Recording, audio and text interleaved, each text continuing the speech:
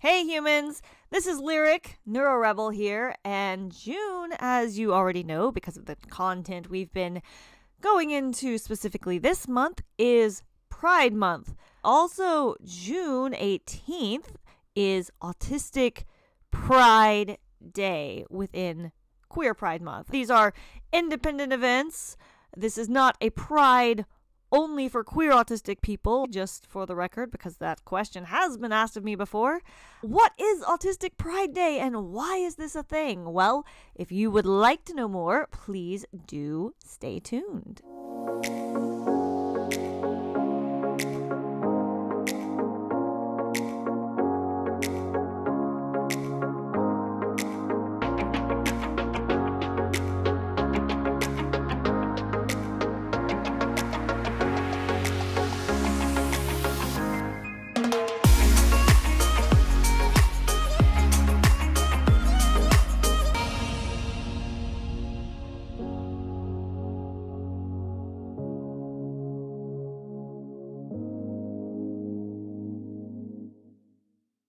So glad you're still here. So, what is Autistic Pride Day and why do we have an Autistic Pride Day? Well, for many of the same reasons that we have queer and LGBTQIA pride events.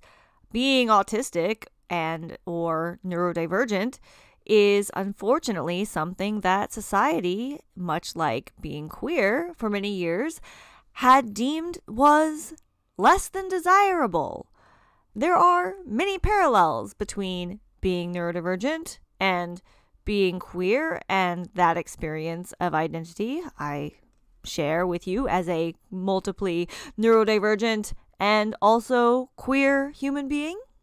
With queer culture, we have queer pride because the opposite of having pride and being bold and out and open with your authentic queer identity is being in the closet many of us queer people who have been in closets before will say that closets are oppressive spaces and living in closets is not a great way to live. Once you've had a taste of being out of the closet, it's very hard to go back into the closet. Also, once you're out, it's hard to put that information away because people know and you're out. That's another reason when you're queer, it's important not to out people without knowing that they are already out because it's like putting toothpaste back into a tube, something that is supposed to be very difficult to do.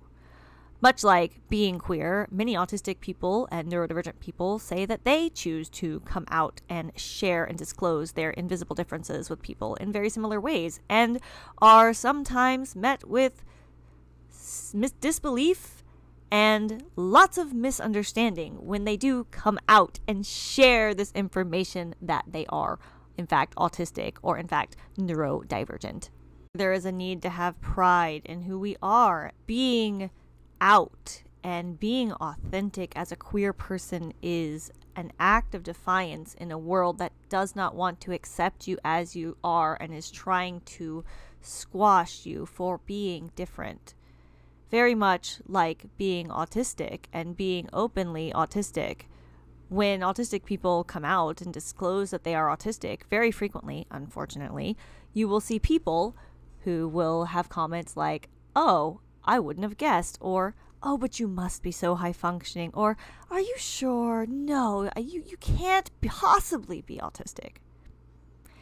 The problem with these comments is, although people are trying to be kind is that they send this message, and the message is very clearly received, that the person believes that being autistic is some sort of lesser way to be. This message that you are sharing, I am an autistic person, has been received as there is something wrong with me, and I just want to make sure you are aware that I am a broken person. Which is not, in fact, what we are trying to do when we share this information with people and we come out as autistic.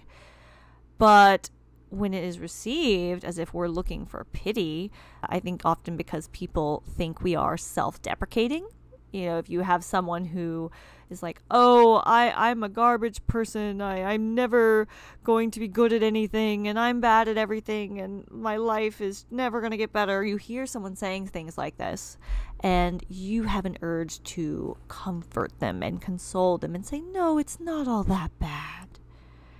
And unfortunately, when autistic people come out, because people have this idea that being autistic, being neurodivergent, having a difference in the way your brain works is a bad thing. So they think you're deprecating on yourself and you're saying something bad about yourself.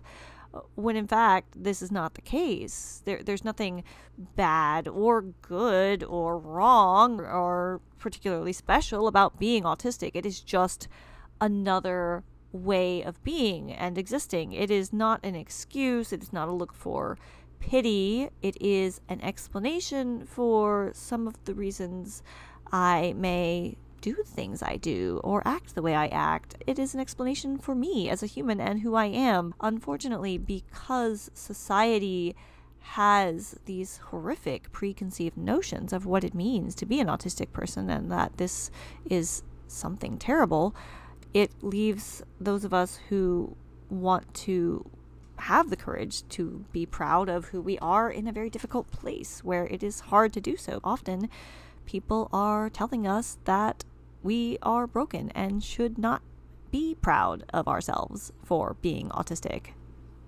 The other parallel that is very similar between queer pride and autistic pride is that being able to be out of the closet or completely unmasked and open with one's neurodivergence is something that is a privileged position to be able to do. That is because people live in closets or masked because of a lack of safety. People don't live in closets and hide their queerness because they want to be deceptive they hide their queerness because the people around them, often when we're young and growing up, maybe our parents are not supportive or other people in our lives. You may not be out in the workplace because that can risk your job, even though legally you are supposed to be protected. Many queer people live in poverty. Getting those legal protections is not always just as simple or easy to get, just like with being autistic or neurodivergent, getting those legal protections that we are entitled to as people who have a disability in a protected class. It isn't always easy to hold businesses responsible to do what they are supposed to do and not discriminate against queer or autistic people. Safety is an issue that those of us who are able to and have the privilege of being able to be open with this information we do so with understanding that there are many people who are still not in a place where they are safe enough to do this. That is the same whether you are queer or autistic.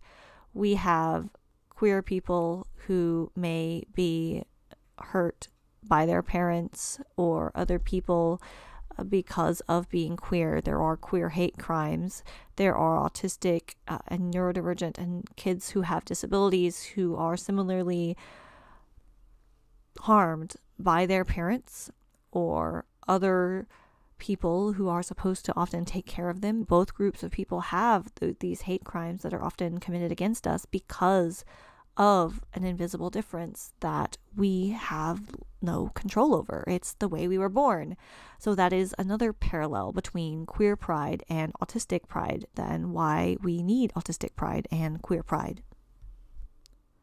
On the most basic simplified level of this that I can provide why we need to have autistic pride or queer pride or any kind of pride is that human beings, whether they are queer or autistic or neurodivergent or neurotypical or not, all human beings have a need to be loved and accepted as we are and not asked to change and be something we're not. That includes our gender identities, our sexual orientations, our race, our neurodivergences, our strengths, our weaknesses, who we are as the whole person. with queer people, we have started to see a bit of acceptance from society. And with autistic and neurodivergent people, because we are still by definition medicalized and pathologized, we have a lot of work to do still. Autistic people need to be able to have pride in ourselves.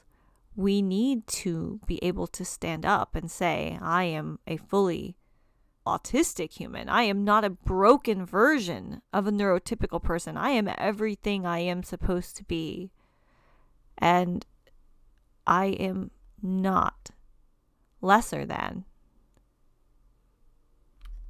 But society says, how can you have pride in being autistic? You should be ashamed of being autistic. Until society stops saying that autistic people are broken and need to fix themselves to fit into the neurotypical systems, we will still have this continued need to have autistic pride until autistic pride becomes standard. Masking. Autistic people, whether intentionally or not, camouflaging or hiding their autistic traits because the message from society has been that your weaknesses are unacceptable and we need you to blend in. Masking has already been tied to poor mental health impacts on autistic people. We have increased anxiety and increased depression in autistic people who are masking, especially if they are masking in multiple contexts. We know that suicide is one of the top killers of autistic people and that masking is hard on autistic people's mental health. And autistic people feel like they have to mask because society doesn't make space for them to be themselves and unmask. We have autistic people who are burning themselves out, working themselves physically and mentally ill trying desperately to keep pace with the neurotypical people around them because we think that we have to be able to do things the neurotypical way. We are the round pegs being pushed through the square holes, and we are hammering those pegs as hard as we can to get through those holes, but we are destroying ourselves.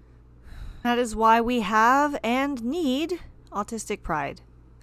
Thank you all so much for hanging out with me this week. I put out new videos each and every Wednesday thanks to the help of my Patreon subscribers, YouTube subscribers, and Facebook supporters who do that little bit of monetary support to help me continue to create high quality content on a regular basis. I am so incredibly grateful for the support that you give that does continue to help me get these videos out with closed captioning, and transcriptions, those services are available at neurodivergentrebel.com. Thank you to everyone who is here today listening to the sound of my voice, whether you are here listening along and educating yourself, commenting, sharing your thoughts, or sharing these videos. I am incredibly grateful for each and every single one of you who are here in this Neurodivergent Rebel community. This blog and all of this would not be possible without viewers and readers and listeners like you. Thank you so much. You have a run wonderful rest of your week. I will see you next Wednesday. Bye humans.